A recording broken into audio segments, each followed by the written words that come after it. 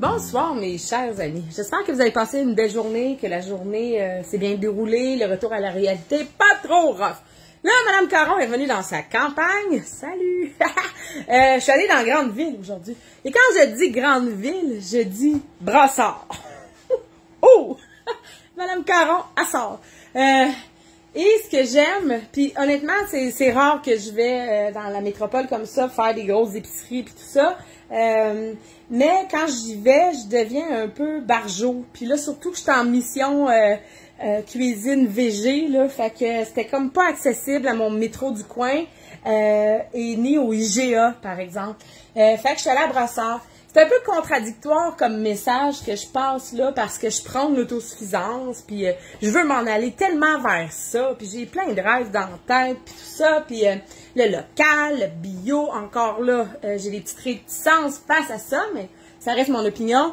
Euh, puis là, je m'en vais faire mon épicerie chez Kim Fat, puis chez Adonis. Tu sais, ça, ça, ça fait pas nécessairement de sens, tout ça, mais tranquillement, pas vite, ça va en faire du sens. Je veux mettre de la variété dans mon assiette, fait que j'ai comme pas trop le choix d'aller là. Un jour, je serai peut-être au petit panier bio qui, euh, qui viendra sonner à ma porte, puis je cuisinerai les légumes du moment. Certes, ou euh, peut-être qu'un jour, c'est moi qui va faire pousser ces magnifiques King pleurotes. ça vient des États, hein? Euh, qu'est-ce que tu veux? Euh, j'ai été charmée, j'ai envie de, m'amuser, de me gâter un peu. J'en ai mangé une fois de ces beaux champignons-là qu'on avait récoltés chez ma belle amie Rachel l'été passé, puis tout ça. Puis vraiment, en tout cas, il y a mille une choses qu'on peut faire avec ça. je vais aller m'amuser.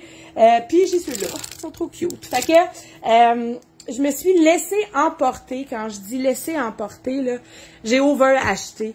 C'est drôle parce que ce matin, j'ai fait une petite lecture euh, les alcooliques anonymes puis tout ça, puis je parlais un peu de l'alcoolisme.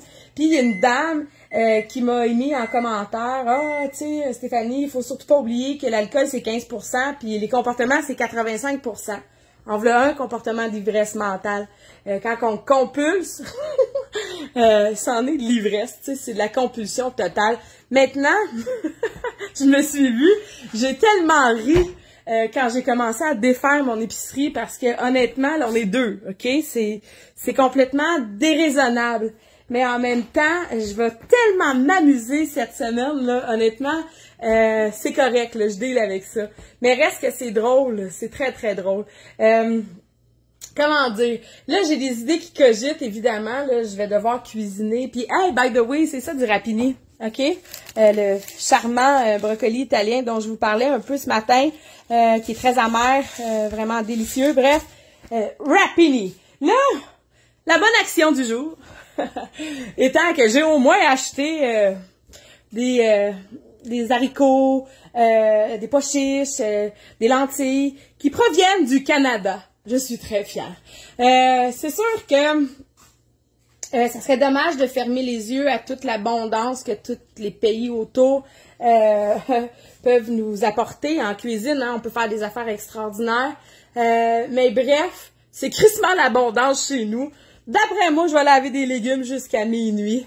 c'est extraordinaire. Je cogite, puis demain, ben, je pars dans micro-pouce puis dans popote. Fait que sur ça, je vous souhaite une belle soirée tout le monde. Salut!